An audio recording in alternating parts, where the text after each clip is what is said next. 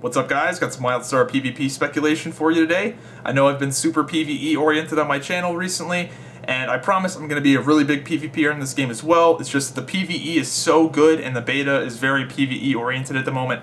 The only people that are really level 50 are the, the raiders and they're raiding, not PvPing, and there's not that many exiles that are PvPing at level 50.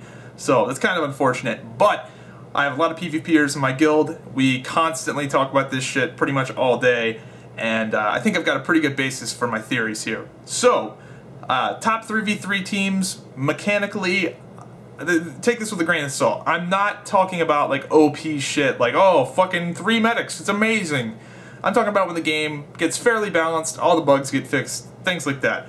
Uh, just the top teams, just based off of mechanics and how the classes work. So, my number one top team the thing that I think is going to be the best, especially for my playstyle, is Warrior, DPS Warrior, DPS Spellslinger, Esper Healer. This comp is going to be nasty. I think it's going to be uh, very, very strong for multiple reasons. One of them being that it has a ton of unique CC.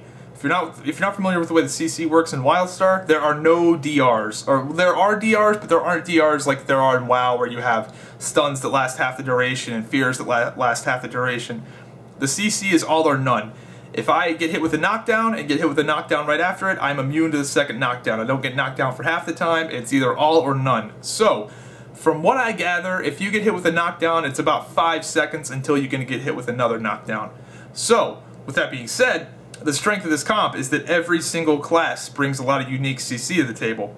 So, number one, the Warrior. Not, not very much brutal CC. They have a knockdown, but then they also have a grip and a tether, and the grip and the tether share DR with nothing else, and they are very, very good for peeling. Amazingly well for, amazingly good for peeling, the, the best peels in the game. Um, then the Spell Slinger, they have a unique CC in the disorient. Disorient is where your your movement keys completely go random, and instead of going forwards, you, your W key makes you go backwards or left or right or whatever. And then, uh, then they also have a stun. And their stun is unique for this particular team comp because the Esper or the Warrior, they don't have any stuns, so that won't DR with anything. Then we have the Esper. The Esper has a knockdown, which will DR with the Warrior knockdown, but if you chain it right, it's not going to because there's going to be more, more than 5 seconds of CC in between the first two knockdowns. So, uh, and then the other Esper, the other Esper CC, which is a Disarm, which is also a unique CC. So you got two completely unique CCs to those two, two classes, which with the Disarm and the Disorient. Disarm shares no DR with anything else. The Esper is the only class in the game that has it. And with that, they've got to run and find their weapons. So if you do that in combination with the Disorient, so they're running, they're running the wrong way, trying to get their weapon, and you can't do any attacks without a weapon. Can't heal, can't DPS, you can't do anything without a weapon in this game. So, whoo, that's nasty. And then out of that, we've got the uh, the knock the Esper knockdown. So you could do Warrior knockdown, disarm, disorient, stun, knockdown, and then a Warrior tether, a Warrior grip tether. I mean, you you have so much CC options. It's insane. And that's not the only reason why this team composition is strong. Augmented Blade from the Warrior is a 40% healing reduction that we have nearly 100% uptime and easily 100% uptime if you tier it up, which I think a lot of people will do. Um, so we've got the 40% Augmented Blade healing reduction from the Warrior that has nearly 100% uptime at base tier. Then we've got the snares. And the Warrior, which I think everyone will spec into this, has a passive 30% snare which you can keep up a 100% of the time on multiple targets. No problem. You just whenever you whenever one of your ability hits, it's 10%, 10%, 10% to 30%. Then we have Ripsaw, which is another 28%. And these snares stack. They don't stack additively, but they do stack multiplicatively, so it'd be like 28% of 70%. Um, still, you can get them running slow. And those also stack with the Spellslinger snares, uh, which uh, with Fro uh, Freeze, I believe it's called a chill, freeze, I don't know what it is, but uh, you have you have a lot of snares, just passive, just running slow as fuck snares that are going to be put on the enemy team. If that's not enough, then you've got grip, you've got tether bolt, you've got all that CC you can use the peel. You've got uh, pretty good damage. If they're going on the spell slinger, then the warrior is going to be going ham. And if they go on the Warrior, then oh my god, that's a, the worst decision in your life because at the current moment, Warriors are pretty good at surviving. And we also do more damage because we have more uptime. And if you spec into Fury, then. Whew. So, um, yeah, so the Spell Slinger is going to be slippery as fuck to hit because you've got, you've got grips, tethers, snares, uh, all that CC you can use to peel.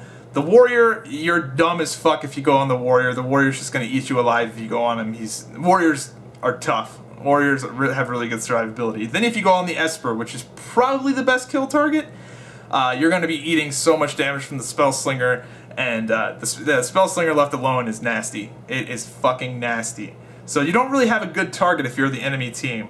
In my opinion, you're, you're pretty screwed. Just from the sheer amount of peeling, it's going to be so hard for anybody to kill anything on this team. With just just Tether Bolt alone is the biggest cock block ever. It's a 30 second cooldown that uh, tethers somebody to the ground for 7 seconds, and the only way they can get out of it is to kill the tether. Uh, then we've got the grip, then we've got the... It's crazy. There's, It's going to be hard as crap to kill anything on a warrior spellslinger DPS Esper healer team. It's I, I don't see it. The only thing, the only weak link I see here is the Esper isn't super mobile, but I think there's so much CC in there that it doesn't matter. All right, on to the next team. The next team is Stalker, Medic, DPS, anything. This team will be the Beast Cleave of Wildstar if uh, if it works. Now, this team might be. This is one of the few teams I say on this list that might not work, just because it's very dependent on the pacing of the game. If people die quickly, this this is going to be doing amazing. If people die slowly, then it's probably not going to be. But uh, I think it's going to be good uh, with the current pacing of the game. It, for a few patches ago, I thought this wasn't going to be viable because the medic cooldowns involved were really, really long, something like two minutes, so you might get that first cheese kill right off the bat, but then the enemy team still has five more respawns. So now with these cooldowns being uh, 30 seconds or less, I think you're going to be able to maintain some consistency. So, um, why I think this team is going to be good. Anybody that's playing the beta right now knows medics and stalkers have the highest burst damage of all the classes. Also, the stalker, for some ungodly reason, I think this might get nerfed, but even if it gets nerfed down to 40%, the Stalker has a 60% Mortal Strike. It doesn't have the same uptime that the Warrior one does, I don't think, but it's 60%. 60% Mortal Strike. And it also takes off shields if you spec into it. So both the Stalker and the Medic DPS have uh, shield shield breaking abilities that take away your shield, or shield overloading, that's the proper term, where your shields get overloaded and they don't work for 8 seconds. So it's just your raw health bar for 8 seconds and you can get killed through it. So, uh, Coordinated Stalker and Medic with really any healer, I think maybe even a Medic healer would work, just because Medic healers are the most aggressive uh, with those offensive dispels. Again, I'm not sure how powerful offensive dispels are going to be at launch, but I don't know. Could be good. It just really depends on the pacing of the game. Now on to the next team. This is another team that I'm really excited to play. I don't think it's as good as the first Warrior comp I listed, but I think it's going to be good. And it's DPS Warrior, DPS Engineer, Spellslinger Healer. And the reason I like this is because it's a super, super sustained damage team. And in my opinion, it would only work with a Spellslinger Healer because they there's not much peels. There's not much really, really hard CC to stop somebody from totally ganking a, an Esper healer or a medic healer. It might work with a medic healer because they're more durable, but definitely not an Esper healer. So, um, the Warrior is a ramp up class. It's sustained damage, it's cleave. All of the Warrior abilities can hit 5 plus targets. And we've got the Warrior Mortal Strike, the Augmented Blade, which is 40% healing debuff. Engineer, same way but ranged. Builds up, does great sustained damage, at range, and guess what? Both the warrior and the engineer are both in heavy armor, and heavy armor is a big deal in this game. You take way less damage, so that means that the warrior and the engineer, it's gonna be hard to kill. It's gonna be hard to kill a warrior and engineer, especially with the, uh, the snares. The engineer also has snares. Uh, we've got the grip, the tether. The only real weakness of this team is that the engineer doesn't have mo much mobility uh, at all. That might get changed. I don't know. I think it's something they're looking at right now. But the arena is small. The arena is a pretty small place, and the cleave potential for this for this is big. Uh, a lot of the highest damaging abilities in the game can only hit one target, and literally, I think literally every single one of the warrior and engineer's abilities can hit multiple targets. This is going to be the WLD AoE cleave team that just doesn't die. And the Spellslinger healer is slippery, and it also brings some CC. Uh, the engineer has a stun, the warrior has a knockdown, then we have disorient and another stun. So not super great when it comes to CC chaining. I think the Esper can stun. It could be the, the, the engineer stun, the warrior knockdown, the disorient, and then another stun. That might be enough time. I'm not sure. But uh, the slipperiness of the Spellslinger is the main reason why you want to bring him because there's not that much peels. Engineers, other than that stun, I don't think they have much. Um, I, don't think they really have much at all, to be honest, and they're slow, so it's going to be hard for them to catch back up to the situation. Like if somebody switches to a healer way over here and the engineer's way over here, it's going to be manual running. The engineer has no leap or jump or anything like that at the moment.